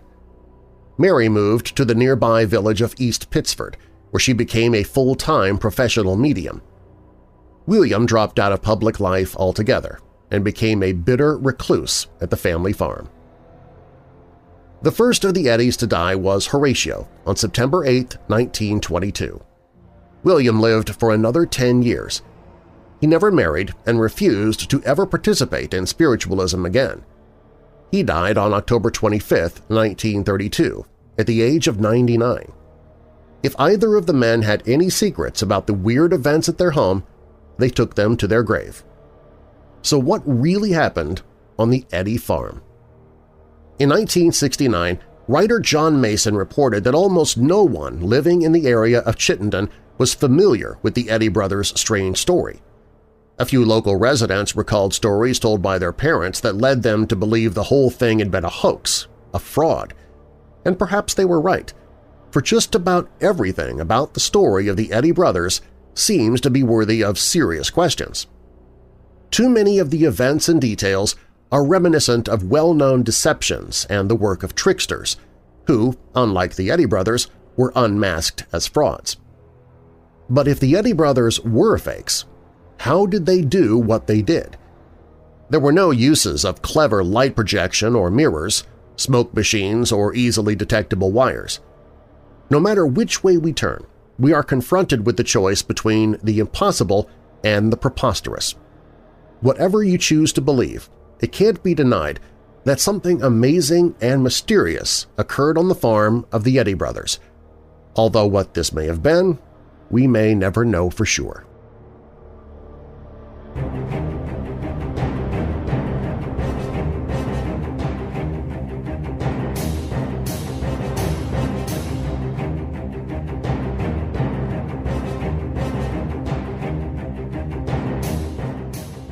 Thanks for listening. If you missed any part of tonight's show, or if you'd like to hear it again, you can subscribe to the podcast where you'll not only hear tonight's radio show but also the extra sudden death overtime content that I prepared that I didn't have time to fit in because I went overtime, as well as any bloopers from tonight's show.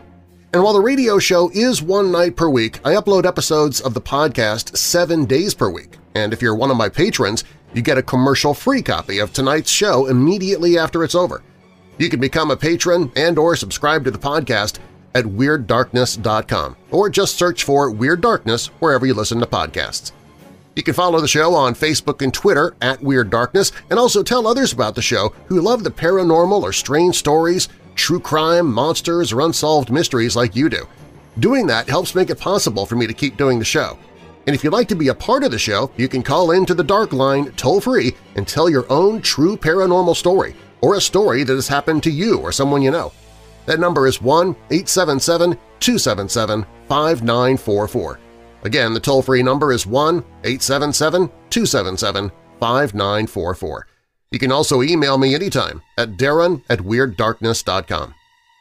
Weird Darkness is a production and trademark of Marlar House Productions. Copyright Weird Darkness. And now that we're coming out of the dark, I'll leave you with a little light.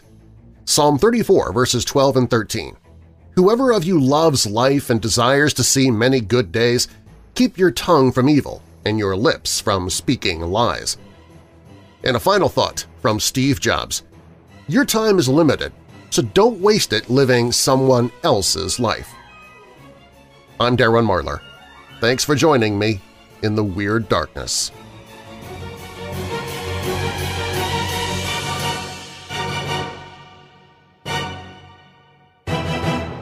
Don't go anywhere, Weirdos, because Sudden Death Overtime is up next.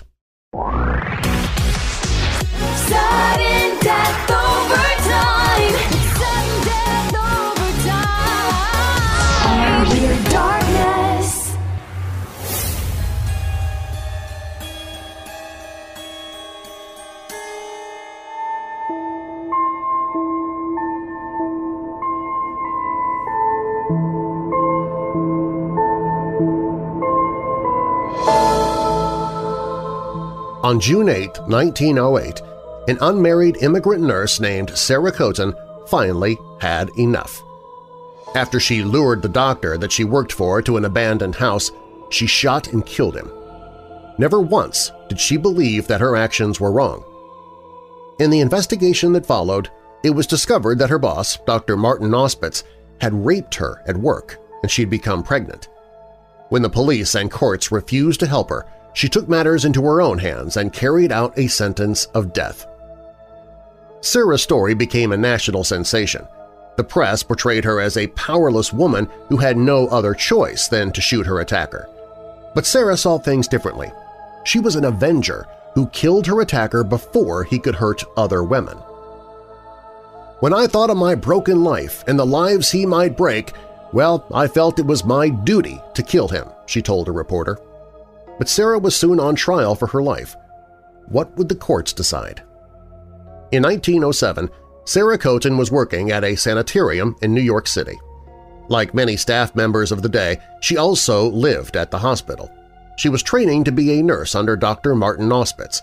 He was bullying, aggressive, and threatening to her, but Sarah was determined to stick it out. Dr. Auspitz promised her that she would become a trained nurse if she stayed in his employ. I was frightened and did not want to stay, she later explained, but the doctor wanted me to stay. One morning, Auspitz broke into Sarah's room. He chloroformed her, and while she was unconscious, he raped her. The rape resulted in a pregnancy. When he found out that Sarah was pregnant, the doctor pressured her to have an abortion. Sarah refused and quit her job but struggled to find new work.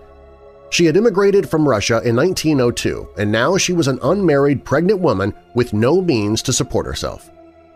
In 1908, she took Auspitz to court. She brought a suit charging him with rape and demanding financial support for the unborn child. Auspitz denied the accusation and used his brother and brother-in-law to attack Sarah's reputation. They claimed she had a poor character, implying that she had seduced Auspitz and initiated a sexual relationship with him. The judge ruled in favor of the doctor and dismissed the case. Sarah then went to the police for help, but they turned her away. She then visited the district attorney, who told her that there was no legal recourse that could be taken against Sarah's rapist. That's when Sarah decided to, quote, be my own judge, unquote. On June 8, she lured her rapist to the home of a pretend patient. When Auspitz arrived, she shot him through the heart. She didn't protest when the police took her away. Never did she proclaim her innocence. She simply stated that her actions had been justified. She had done it to protect other women. She was correct, at least as far as that went. Sarah had not been Auspitz's only victim. It was later discovered that Auspitz had a history of wronging women. Before Sarah killed him, at least two other women brought complaints against the doctor. One woman, Agnes Deffa, tried to attack Auspitz in court when he claimed that she had initiated a sexual relationship with him. The other woman, Anna Jensen, had been a patient at Auspitz's sanitarium. After Auspitz raped her, she burst into his office with a gun. She tried to shoot him, but the cartridge in her revolver failed to fire. This attempted murder happened only a few months before Auspitz raped Sarah. The police had been aware of the incident and yet still did nothing to help Sarah when she lodged her complaint against the doctor. As Sarah waited in prison for her trial, her case became a media sensation. At first, the stories were negative. She was called wretched, a frenzied girl, and a total wreck. The stories painted a picture of hysteria and criminality, an immigrant who was naturally a vicious killer. But all that changed after she gave birth to her son Abraham in prison. The newspaper now told a new story of a woman who must be innocent. Abraham was the proof of her story. The evil doctor had tried to pressure her to abort the baby, and Sarah's refusal made her popular with the public. She was a model mother, they said, who was only defending her honor. Reports compared her case to the unwritten law that applied to gentlemen in the 19th century. If a woman's honor was at stake, gentlemen were allowed to retaliate, even if it violated the law. By the turn of the 20th century, that same law began to apply to women themselves – Women had little power to stop men's aggression and violence, the unwritten law argued, so it was acceptable for women to protect themselves in any way they could, even with a gun. At the end of Sarah's trial, Judge James A. Blanchard accepted her plea of insanity. He gave her a suspended sentence, sending her to the care of the Council of Jewish Women. Sarah's defense inspired other women. In early 1909, a woman named Elizabeth coerced Charles Schmidt into marrying her, saying if he didn't, she would, quote, blow out his brains like Sarah Coton did, unquote. Sarah Comiskey attempted to kill her father for abandoning his family. Nellie Walden killed her ex-boyfriend for running off. These women claimed they were inspired to violence because of Sarah Coton. As for Sarah herself, she walked out of prison after her trial and vanished from history. The Council for Jewish Women helped her to find a suitable home where she might change her name and rear her child in ignorance of the crime its mother had committed. The Council concluded its statement on Sarah's case with this. While no one can consistently condone murder or any other offense against the law, it is gratifying to know that this suffering woman is not to be cast into prison for a crime that she primarily was not to blame for.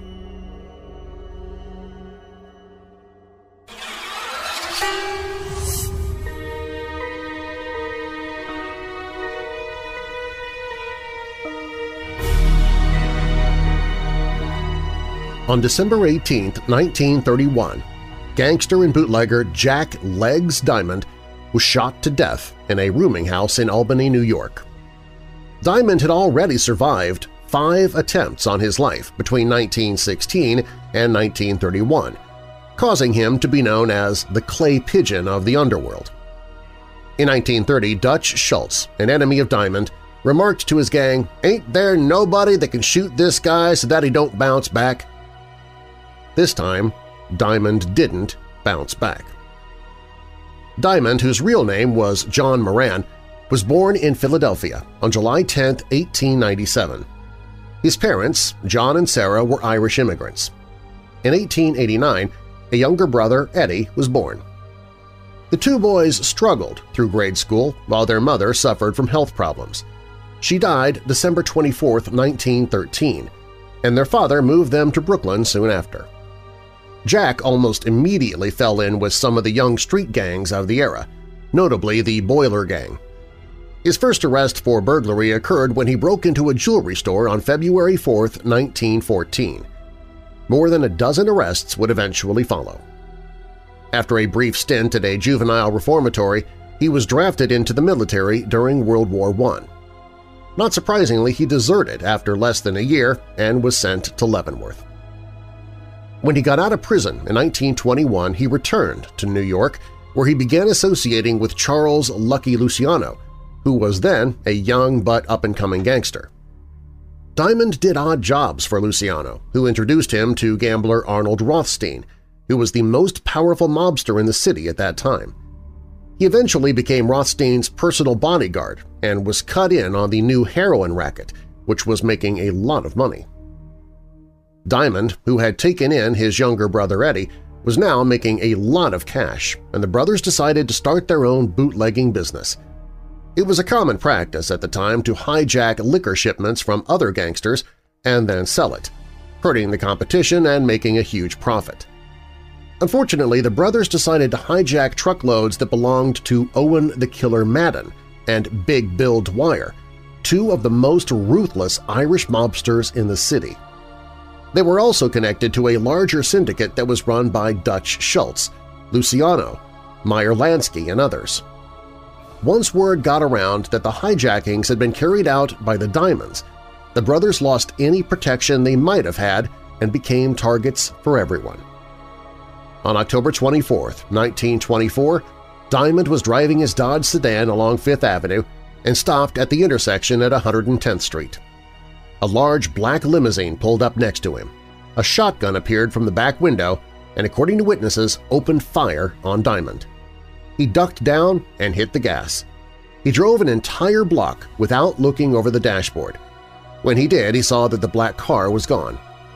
He drove himself to nearby Mount Sinai Hospital where doctors removed shotgun pellets from his head and face. When the police questioned him, he shrugged the whole thing off. They must have thought he was someone else, he told them. It was obvious to Diamond that he needed protection, so he turned to Jacob Little Augie Orgen, a Jewish gangster who had ran several rackets in lower Manhattan. The main thing that he had going for him, as far as Diamond was concerned, was that he was one of the few people who didn't want to kill him. Orgen wanted to increase his own power base so that he could compete with Luciano, Lansky, and the rest. Diamond would provide some of the muscle that he needed. Jack and Eddie became Orgen's bodyguards, and in turn, Orgen cut them in on his liquor and narcotics rackets. Then, on October 15, 1925, Orgen and Diamond were finishing their daily meetings and collection rounds and were approaching the corner of Delancey and Norfolk Streets in lower Manhattan. Three men approached them and started shooting. Orgen was fatally wounded in the head, and Diamond was hit twice on the right side. He was taken to Bellevue Hospital for emergency surgery and eventually recovered. He refused to tell the police anything, and they tried to charge him with murder but couldn't make anything stick. Orgen's murder was never solved, although it was believed to have been arranged by Louis Lepke Buchalter and his partner Jacob Gurrah Shapiro. They wanted to take over Orgen's rackets, and it's believed that Diamond may have been in on the plot. After he was released from the hospital, he took over Orgen's liquor operation, while Buchalter and Shapiro took over the dead man's narcotics and other rackets. With cash now pouring in, Diamond became a regular on the nightclub circuit and his picture started showing up in the newspapers. He was never portrayed as a gangster, though, only as a wealthy man about town. The public loved him, and so did the ladies. Although married, he was a womanizer, and his best-known mistress was showgirl and dancer Marion Kiki Roberts. His flamboyant lifestyle kept him out at the clubs at night, and this may have been how he obtained the nickname Legs. He was a great dancer and was part owner of the Hotsy Totsy Club, a dance spot on Broadway. So the nickname could have come from this, or, as others have suggested, from his uncanny ability to escape death. On July 14, 1929, violence came to the Hotsy Totsy Club. Two brothers, Pete and William Red Cassidy, along with a friend named Simon Walker, started a fight at the club after bartenders and staff refused to serve the already drunk men. When a waiter told them to quiet down, Red turned on the waiter and began arguing with him. Walker grabbed club manager Jaime Cohen by the arm, demanded service, and threatened to destroy the club if they didn't get service. He then shoved Cohen to the floor. Diamond and one of his cronies, Charles Entratada, saw the exchange and stepped in. He told Walker, I'm Jack Diamond and I run this place. If you don't calm down, I'll blow your effing head off. Walker turned to Diamond and snarled, You can't push me around. Well, those turned out to be his final words. Diamond and Entratada both pulled their guns and shot Walker and the Cassidy brothers. Red was hit three times in the head, once in the stomach, once in the groin. Walker was hit six times in the stomach. Both men were dead when they hit the floor. When the police arrived, Pete Cassidy was lying at the bottom of a flight of stairs with three gunshot wounds. Guns were found on all three of the men, who had extensive arrest records.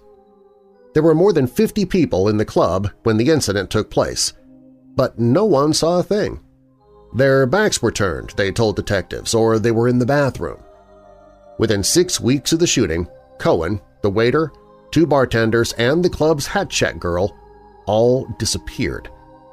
The waiter's bullet-ridden body was later found in New Jersey. No trace was ever located of the others.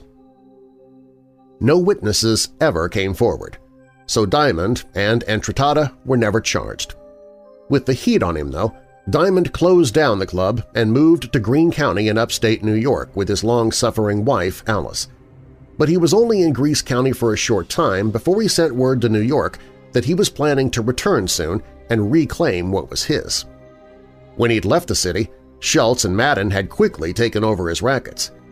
His planned return made him an immediate target and earned him the moniker of Clay Pigeon of the Underworld. In 1930, while preparing for his move back to the city, but also while establishing a bootlegging operation in Greene County, Diamond and two others kidnapped Grover Parks, a truck driver who'd been hauling liquor. They wanted to know where he was picking up his alcohol shipments, but Parks refused to tell them. Oddly, they set him loose. A few months later, Diamond tried the same thing with another driver, James Parks, and this time he was arrested and charged with kidnapping. He was later acquitted at trial. In late August 1930, Diamond traveled to Europe. He told reporters that he was on his way to France where he would take a mineral water cure for his health. The real reason for the trip, though, was to establish a German liquor source. He was planning to smuggle alcohol from Europe to re-establish his New York operation. But nothing went according to plan. When the ship docked in Belgium, he was taken into custody by the police. After several hours of questioning, he was put on a train to Germany. When he arrived there, he was arrested by the German Secret Service who put him on a freighter that was bound for Philadelphia. It arrived on September 23rd, and he was immediately arrested by the Philadelphia police. At a court hearing on the same day, Diamond was told that he would be released if he left for New York within the hour. The weary gangster readily agreed. In New York, he moved into the Hotel Monticello in Manhattan and began trying to take back his rackets in the city. Hardly anyone was happy to have him back. On the morning of October 10, 1930, Diamond was wounded by three men who forced their way into his hotel suite and shot him five times. Still in his pajamas, he staggered out into the hall where he collapsed. He was rushed to Polyclinic Hospital where he slowly recovered enough to be discharged on December 30th. When asked how he managed to make it to the hallway with five bullets in him, Diamond said he'd already had two shots of whiskey for breakfast. On April 21, 1931, Diamond was arrested again, this time on assault charges that dated back to the Parks beating in 1930. Two days later, he posted bond and was released. A week later, however, he was shot and wounded again, he was at a roadhouse called the Aratoga Inn near Cairo, New York, which was owned by Jimmy Wynn. Wynn had numerous underworld connections, and the nightclub was a popular hangout for gangsters. Diamond had just finished eating with three companions and was waiting on a telephone call from his attorney. As he walked to the front door to get some fresh air, three gunmen who were dressed as duck hunters opened fire on him. Diamond was hit several times. A local man drove him to a hospital in Albany where he was treated for his injuries. His troubles continued. On May 1st, while he was still in the hospital, New York State troopers seized beer and liquor worth more than $5,000 from one of Diamond's hideouts in Cairo. He was charged with bootlegging and sentenced to four years in state prison. He appealed the conviction and remained free on bail while he awaited the outcome of the appeal. Meanwhile, Diamond still had to face the music in the Parks case, and later that year he went to trial. He was again acquitted on the assault and kidnapping charges. He left court a free man December 17, 1931. In the mood for a celebration, he and his family, along with a few friends, celebrated at the Rainbow Room of the Kenmore Hotel, the best hotel in Albany. At about 1 a.m. on December 18th, he left the party and went to see his mistress, Kiki Roberts, who was staying at another hotel. Roberts had attended the celebration party, but he had left before midnight. Diamond stayed in her room until about 4.30 a.m. and then was driven to 67 Dove Street, a private rooming house where he'd been staying during his trial. He entered the locked front door with his key, went upstairs to his room, and fell asleep on the bed. Witness reports say that a large black car, which had been parked down the street for some time, pulled up to the rooming house soon after Diamond arrived. Two men got out and entered the front door using a key and quickly went upstairs. When they got to Diamond's room, they either used a key or, as some believe, Diamond drunkenly left his own key in the lock and entered the room. Diamond was asleep on the bed.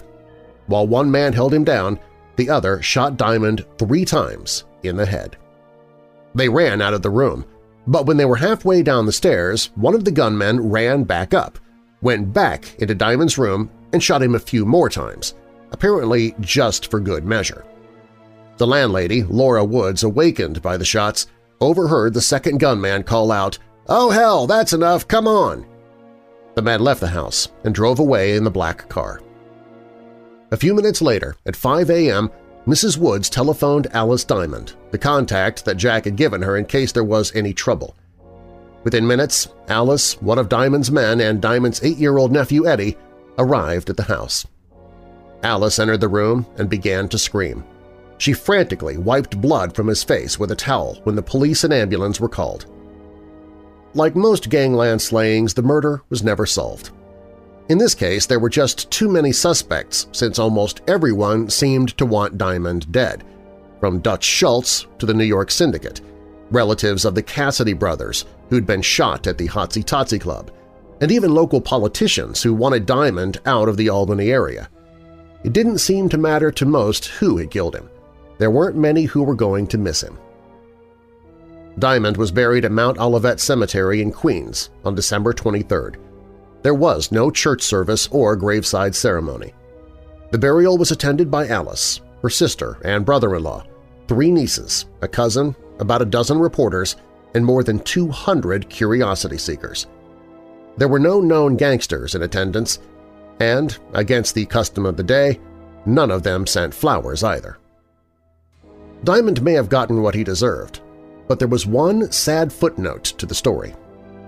On July 1, 1933, Alice Diamond was found shot to death in her Brooklyn apartment. It was speculated that she was killed by her husband's enemies to keep her quiet, but no one knows for sure. Her murder, like the murder of Jack Legs Diamond, has never been solved. Sudden death over time. Your darkness.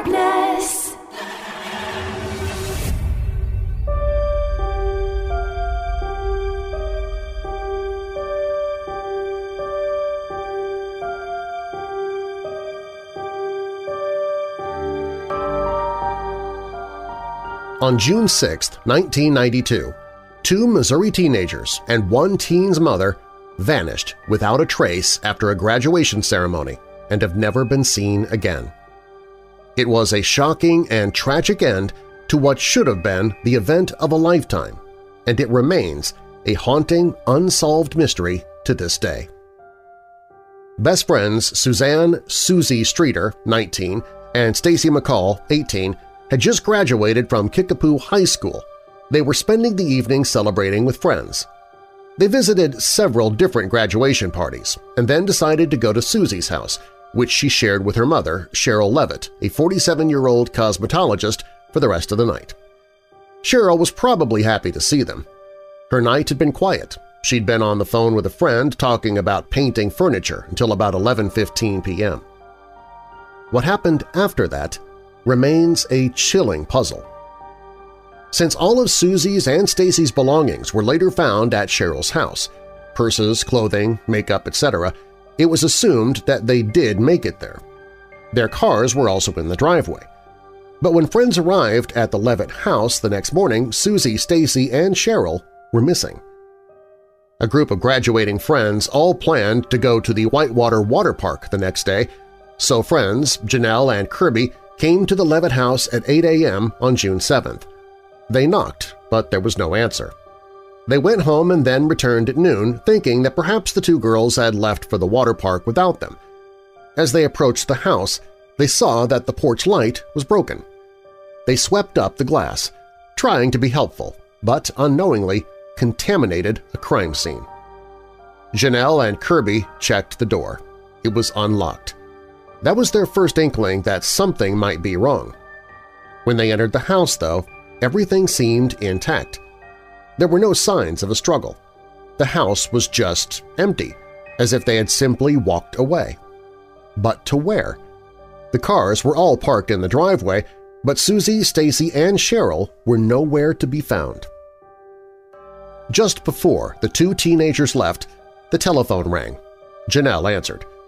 The caller didn't identify himself but began making lewd comments, so Janelle hung up, assuming it was a prank call. She and Kirby left the house. A little while later, Stacy's mother, Janice McCall, arrived at the house. She had tried to call, but there was no answer, so she had driven over. She hadn't heard from her daughter since early the previous evening. There was no answer when she knocked, so she went inside. She looked around and found Stacy's belongings. Her daughter's underwear and T-shirt were missing, but the rest of her clothes were neatly folded on a chair. It looked like both girls had removed their makeup in the bathroom the night before. Janice also found all three of the missing women's purses lined up on the floor outside of Susie's room, which seemed odd. The television was on, and Janice saw that there was a message flashing on the answering machine. When she tried to listen to it, she accidentally deleted it. She was convinced that something was wrong. It had been 16 hours since the three women had been seen. Janice and her husband decided to contact the police. When the authorities arrived, they tried to nail down just how many people had been inside of the house, possibly contaminating the crime scene, and tried to figure out what had happened. It was a baffling situation, but suspects soon emerged. The first suspect was Sherrill's son, Bart Streeter, who had recently argued with his mother and sister about his drinking problem. But Bart had a solid alibi and was soon ruled out. Authorities also questioned Susie's ex-boyfriend, Dustin Rekla. He'd been in trouble before. A short time back, he and a friend were arrested for vandalizing cemeteries. Susie had given a statement to the police that stated the boys had been digging up graves and stealing gold teeth from the corpses. Threats had been made against Susie and her mother. When questioned, though, the boys were cooperative and also ruled out as suspects. The investigation then focused on Robert Craig Cox, an Army veteran who had been arrested and convicted of a woman's murder in Florida. The Florida case was overturned due to a lack of evidence. In 1985, Cox was convicted of two different abduction attempts and sentenced to nine years in prison. His case was appealed and overturned in 1992 when a judge ruled that the evidence only gave the suspicion of guilt rather than proof of it. He was released in 1992 and sent to live with his parents in Springfield, Missouri, which put him in the right place at the right time to have been potentially involved in the disappearance of the three women. Cox was working as an electrician, which the police speculated could have given him an excuse to enter the home. They also found that Cox had previously worked with Stacy's father at his car lot. Cox's girlfriend gave him an alibi at the time, but years later she admitted that she lied about it. Cox had convinced her to make up the story if the police asked where he was during that weekend in June. Her story seemed solid, so the police had no choice but to let him go. But Cox found it impossible to stay out of trouble. A short time later he was arrested again for an unrelated crime. Detectives still believed that he had something to do with the missing women and took the opportunity to question him again. Cox laughed at them. He said that he knew the women were dead and he claimed he knew where their bodies were buried, but was he telling the truth? The police didn't know. Cox loved attention, and this was the perfect way to get it. He was their most promising suspect, but he wouldn't talk, and they had no hard evidence against him. Eventually, the case went cold the case of the Springfield Three officially remains open. Tips and stories have led to nothing but dead ends over the years. Theories abound. Some say they were victims of sex trafficking. Others claim they were carried off by a satanic cult.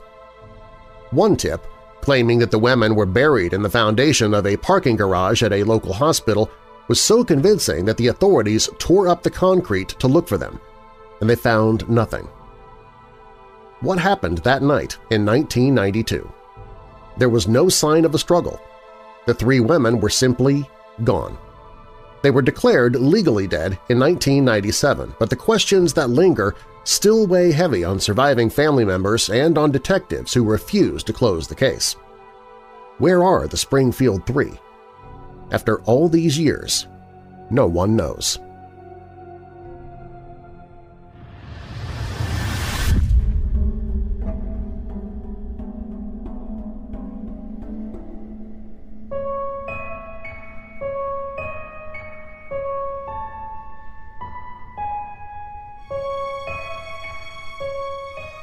On June 5, 1930, the body of Chicago mobster Eugene Red McLaughlin was found floating in the Chicago River, despite the baling wire that was wrapped around his body and the 75 pounds of metal that had been used to try and sink him to the bottom.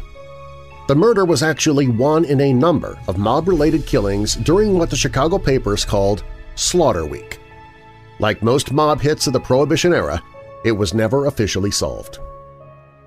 It had already been a rough year prior to the events of late May and early June. In January, a gun battle occurred in which Frank McErlane, the mobster responsible for introducing the Tommy gun to Chicago, received partial payback for the murders of at least nine victims of gangland slayings that he was reportedly responsible for. Coroners had often listed him as a cause of death in autopsy reports. He'd been indicted for two murders a short time before, but charges were dismissed McErlane had been recently restless. He had fought over shares with his partner Joe Saltis and had transferred his allegiance to the South Side O'Donnells. During the ambush on January 28th, he was struck in the right leg by a bullet. While recovering at the German Deaconess Hospital, he had two unexpected visitors who walked into his room and opened fire. McErlane, imprisoned by splints, did the best he could. He reached under his pillow and pulled out a 38 caliber revolver, which he fired five times. The intruders ran, leaving McErlane still alive. Two full chambers had been fired at him, but McErlane was only hit three times, and none of the wounds were fatal. He was interviewed by the police but of course did not name his attackers. He did, however, hint angrily that this would not be the end of the matter.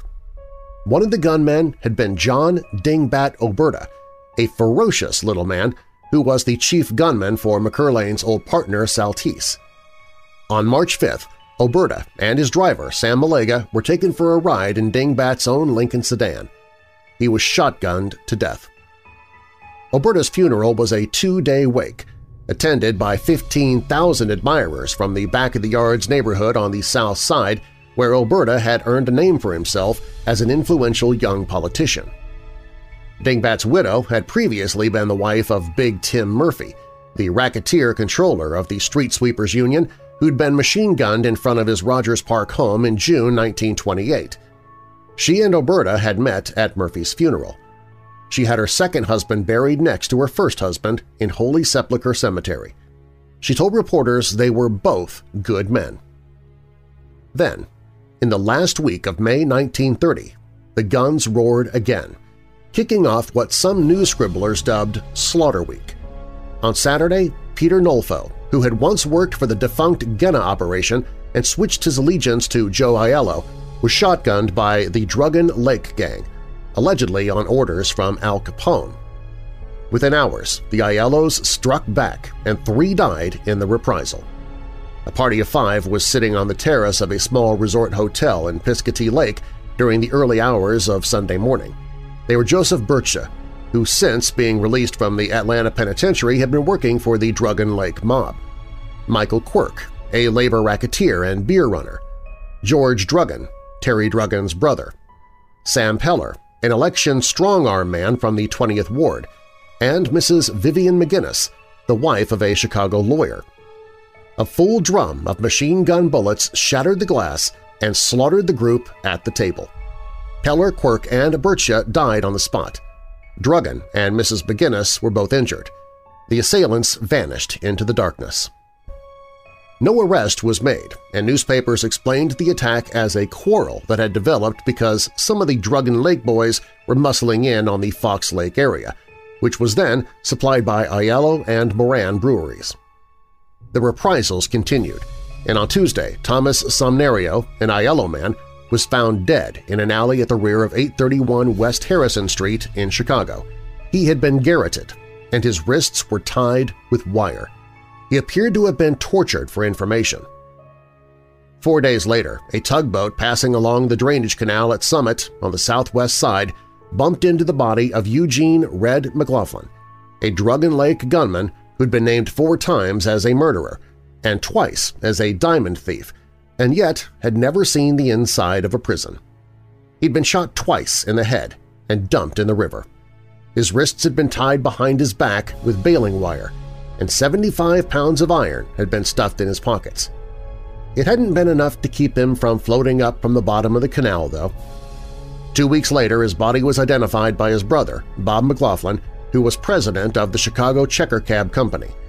He'd taken over the office from Joe Warkwell, who had run into a nasty accident while running for re-election.